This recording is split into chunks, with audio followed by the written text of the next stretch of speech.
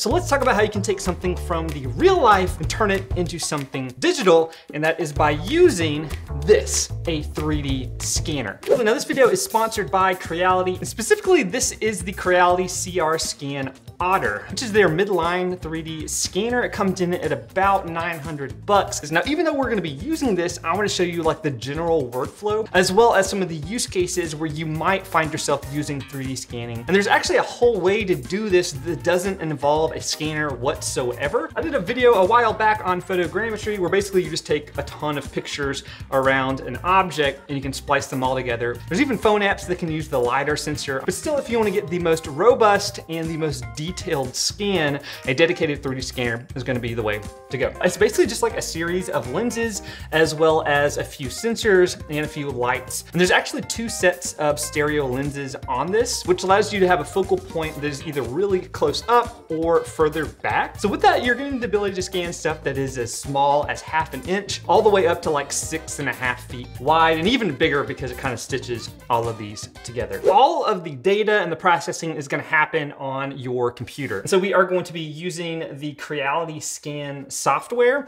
uh, and then you're just gonna connect the scanner over USB. And we are just gonna go ahead and start a new scan. And there's actually several different modes that you can set up to do this, specifically the face and the body scan. Um, so I've done a few scans of my face. Uh, it's kind of hard because I'm also like moving the scanner, but you can see you can get some pretty nice results. this case, I'm gonna be doing a medium one, gonna hit scan, and then jump into this. Now they give you a nice indicator on the back uh, to let you know if you are either too close or too far away. And the back will actually turn green when you're in the right spot. Uh, but then you can also watch the software as you're going.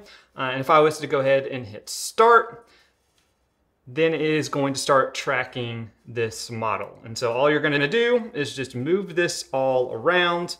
Uh, and it might lose position. And if that ever happens, uh, you just go back uh, to a position it had before.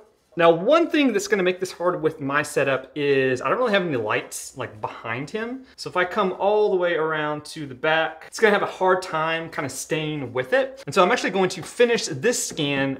Um, this is actually on like a Lazy Susan. Um, so I'm gonna do a turntable mode. And that's also helpful because I always have really good light. Okay, so uh, I'm gonna go ahead and hit stop on this one. And you can see there is our data and we'll get into all the processing and stuff here in a minute. Um, but I'm actually gonna come up here and I'm gonna do a new scan, turn turntable on, again, doing medium, and I'm actually gonna do texture. Now it should be a little bit easier because all I've gotta do is just turn this around. So I'm gonna fast forward through the uh, scanning process because this will take a little bit to get all of the data in there.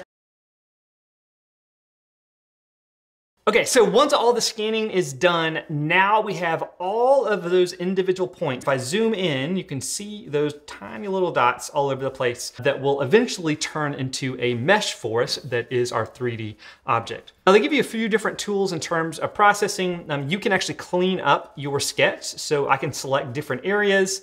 Uh, maybe I don't want that. I can hit delete and I would actually remove all of those points so that they don't get processed in the future. And then processing can take anywhere from a few seconds to several minutes if you have a slower computer. But at the very end, you'll have a full meshed 3D model that also has a texture that this captured. All right, so we've actually moved into my office with my bigger computer, uh, just so this processing doesn't take quite as long. But um, you can see right here, I have pulled up the point cloud that it generated. Um, and this actually was one that I merged from a couple different scans. Um, that's why this bottom part um, looks a little bit different. Um, and then from here, we are going to make a mesh. And so I've actually already done that. Uh, so you can see what that mesh looks like. And there is our mesh of our baby Yoda. And the bottom section I actually did as a large scale scan. So you can see it didn't get quite the detail that the top did. Uh, a really good example of that is probably like the texture on this fabric here on the back. But overall, um, a really nice scan. And the main thing I was trying to get was the head. Uh, and so that was good as well. Now I'm gonna show you some other examples of ones that I have done as well. You can see uh, here is a couple of my face scans that I have done. And so this one was kind of hard because I was watching uh, the screen, uh, but this one I have the color mapping turned on. And if I actually switch over to the point cloud, I didn't get my entire head scanned. Again, it's like really hard to get this like behind my head. So there's an option to go in there and fill in the holes when you make a mesh. This was probably uh, the best scan that I had. So this is a little ZV-1 Sony camera. Uh, and if I switch to the mesh, uh, you can see we've got a really nice like quality scan. It was actually picking up even some of the texture on the surface of the camera.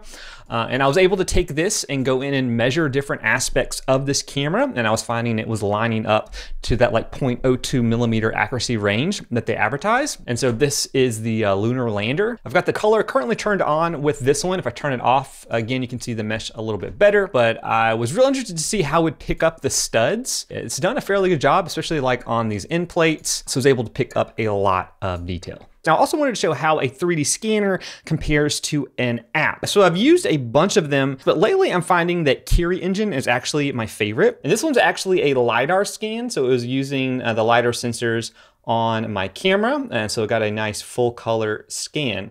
Uh, now it looks good here, but I wanted to see how the details compare when I put them side by side in the same environment. So right here is the one that I did with my phone. And you can see you do have like a general shape. Can kind of make out what it is, but there's a pretty big difference when we look at the one that I did with the 3D scanner. Uh, and if I turn it on so that you can actually see uh, the edges, so you can see like all of the polygons that it was created, there's a pretty substantial difference. Now again, this bottom part I did as a large scale scan, so like the density isn't as high. But if I zoom way into the face, you see the amount of polygons that we have around all of these different features. And that's compared to what we've got when we are looking with this. Now there's ways to increase the resolution with your phone, and the phone actually took a lot less time than what I did with the 3D scanner. But if you're looking for the method where you can get the most accurate scan possible with the most resolution, a dedicated 3D scanner is going to be a great option for you. Now once we've got that 3D model, you can take it a step further and clean it up in some programs like Blender or ZBrush, or if it's a fully enclosed STL, um, you can send it straight to your 3D printer and print out a little version of it. Now where I think it actually gets a little bit more practical practical is if you're actually trying to build things onto things. Props are a little bit different, but maybe you wanted to put like a helmet on this guy. Having an actual scan of his head is gonna allow you to go in and model a helmet that will fit on his head. But a much more practical example, if I wanted to go in and add an attachment or a grip to this camera, I could do all these measurements with calipers, um, but some of these curves are a little bit more complex and it might take a while to do. So actually doing a full scan would allow me to go go in and create a model of the camera that then I can use however I needed. Now, if you are doing props, having a scan of your head is super helpful because you can actually size these helmets to fit exactly on your head. Um, so even if the scan isn't perfect, having the general dimensions is gonna be really helpful. Now, a few things you'll have to keep in mind is when you're doing scans of anything reflective, like these eyes, or even when I was doing my face and the clear glass, it's gonna have a hard time with that. So one thing they provide, and something that I actually did when I scanned R2-D2 and his head, are these tracking markers that are basically these little reflective stickers. And as long as there are like four to five of these markers in the frame when you're doing the scan, um, it can use this to track track the geometry. So I found that really helpful, especially with RSU, where you have that really reflective aluminum surface that is fairly large. So it's pretty easy to lose track of it. So another use case that I see a lot of people do is like automotive parts. And using markers like that is gonna make that a lot easier. Now, if you do want to see what a free version of this can look like, we're gonna dive into my photogrammetry video right now. Until next time, go make or break something in your shop. See you guys.